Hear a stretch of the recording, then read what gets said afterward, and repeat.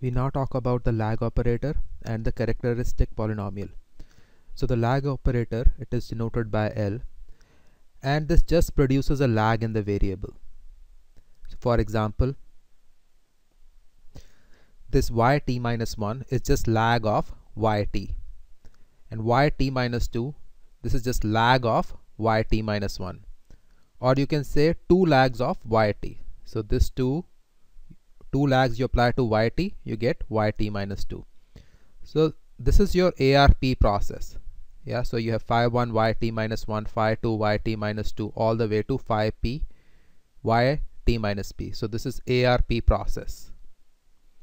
So this ARP process you rewrite. So instead of yt minus 1 so instead of this you write lag of yt then this yt minus 2 you write lag of lag square of yt so on all the way here this is p lags of yt now you take all these terms on the left hand side. So you take everything on the left hand side. So you get 1 minus phi 1 lag. So this phi 1 is coming here. Everything in this side this L is here and this yt is right here. Similarly you have this phi 2 is here this L square is here and this yt is right here so this phi p is here LP is here this yt is right here. So you have taken everything on the left hand side. So this will be equal to c plus epsilon t. So on the right hand side just these two terms remain. That is it. So this you can rewrite as a characteristic polynomial. So instead of L you just write z where z is the complex number. So this becomes your characteristic polynomial now for your AR process to be stable so stable means that when you go along in time the process does not go to plus infinity or minus infinity because it, if it goes to plus infinity or minus infinity then you cannot say anything. The process is like out of bounds. So for uh, this AR process, autoregressive process to be stable, you first find its characteristic polynomials and then you find the roots of the polynomial. So the roots of the polynomial its uh, absolute value should be greater than 1. So notice that for a complex number you have complex number like this x plus iy where i is square root of minus 1 and this modulus of z means nothing but square root of x square plus y square. So this should be greater than 1. For the time series to be weakly stationary or covariance stationary.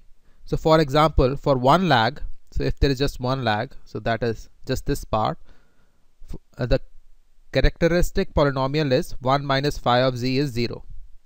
Now if z is greater than 1, then phi is less than 1. So notice that from this equation you have phi is equal to 1 by z. So if z is greater than 1, then phi is less than 1 that makes the process covariance stationary or weakly stationary. So this condition we had mentioned before that phi should be less than 1 for AR1 process to be stable and now we are showing that this holds if you find the root of the polynomial which is greater than 1.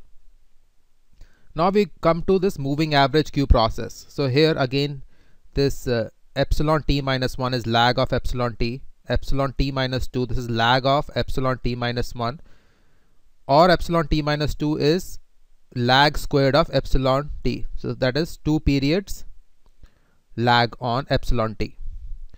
So now you have a MAP process. So MAP process is kappa plus epsilon t. Again you have lag 1 lag 2 all the way to p lags and uh, as we said before each of these epsilon i's is drawn from a normal distribution with mean 0 and some variance sigma square. Now again you can rewrite this. You can uh, bring all these terms to this side.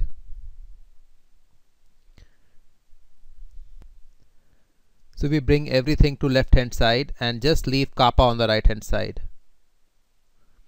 So you have yt minus so this uh, epsilon t minus 1 this becomes nothing but L times epsilon t this becomes L square epsilon t this becomes LP epsilon t. So minus sign is here. You're bringing everything there. So this epsilon t is just this one here. Theta 1 L is just this term. Theta 1 L epsilon t is right here. Then here it is theta 2 L square epsilon t is right here. Then theta p LP epsilon t is right here. And uh, for the characteristic polynomial now you just focus on this part. Replace L with Z.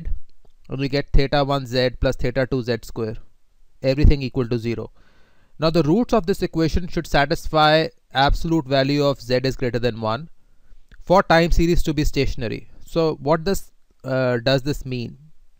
Now we saw that in MA1 process there was no condition on theta 1 this we have seen previously. But we are putting this condition because it is possible to convert this MA process into this MA process can be converted to a AR process and if you want to convert this moving or average process into autoregressive process then you have to have these characteristic roots greater than 1 for the stability in the autoregressive process. Now we will uh, show a small example how to go from MA to AR or AR to MA.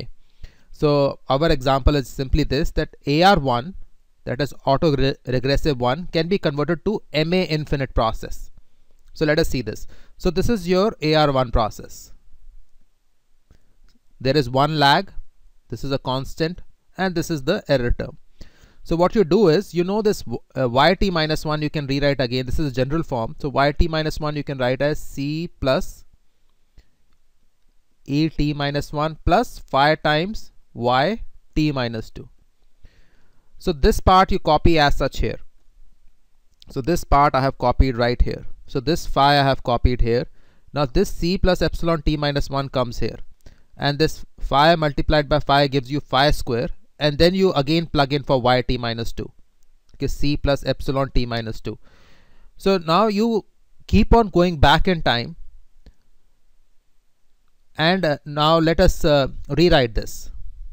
So this is nothing but this comes is a summation for C plus phi of C plus phi square of C and so on and then you have this epsilon t this epsilon t is here plus phi times epsilon t minus 1 plus phi square times epsilon t minus 2 and so on.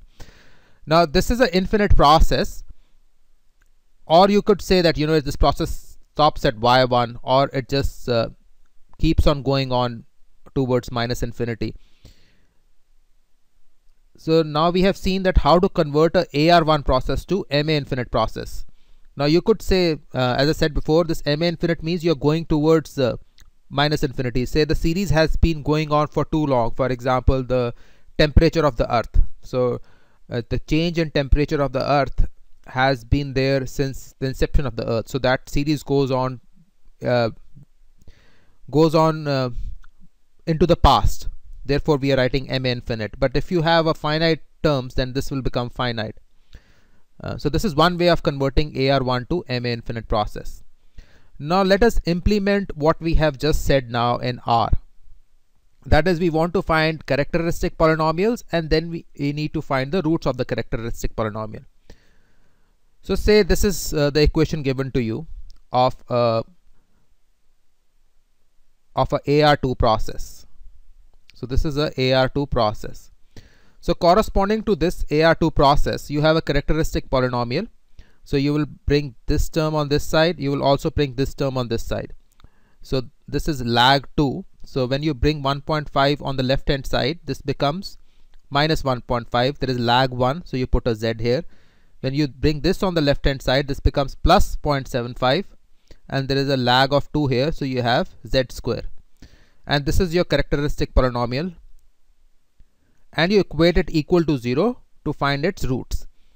So you write it like this z is equal to c1 minus 1.5.75 so that means this is a this is a polynomial in complex numbers. And uh, these are the coefficients. 1 is a constant minus 1.5 corresponds to z 0.75 corresponds to z square. So this is uh, z to the power of 0 z to the power of 1 z to the power of 2 and if you have more terms you keep adding in this direction then this is the command polyroot of z so polyroot of this polynomial z and uh, you run this command and then you have a this will print it out so I have uh, notice that I put semicolons here uh, you can put semicolons if you want to run the command in R in a single line. So let us run this in R and see. So you copy paste these commands from the description of the video and just hit the run button. And you see uh, we have the two roots.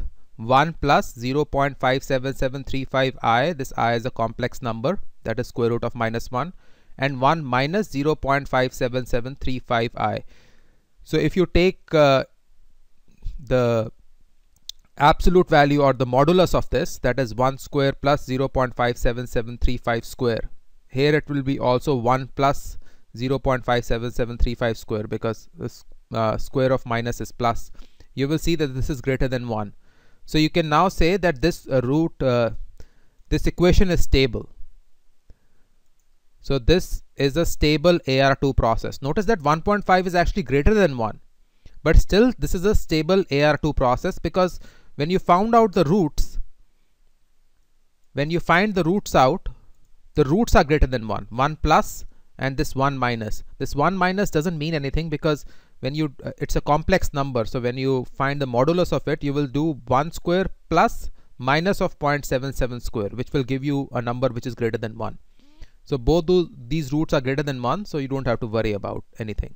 So the process is stable for uh, this AR2 process. So this AR2 process is stable.